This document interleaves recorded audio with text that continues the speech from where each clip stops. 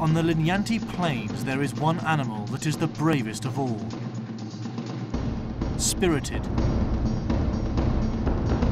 Adaptable. Headstrong. This is the story of the mother of courage. A warthog's life is not easy. Fiercely hunted, they are quarry to every predator. Many fall victim. For one mother, the stakes are higher than ever before. In a drought-torn region, life becomes unbearable as she struggles to rear her young. Access to water is near impossible, and danger lurks around every corner. The warthog sow is fiercely protective of her young brood.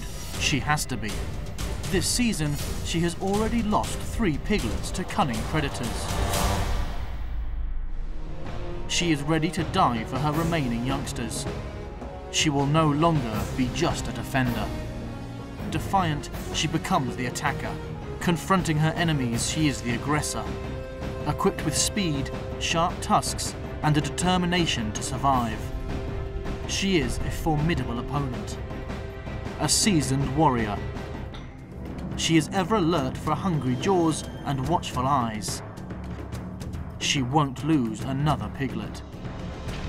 Follow this courageous sow as she perseveres to raise her young family. Watch as this warthog warrior battles in a tough region through a perilous dry season and dares to succeed and become the bravest of them all thank you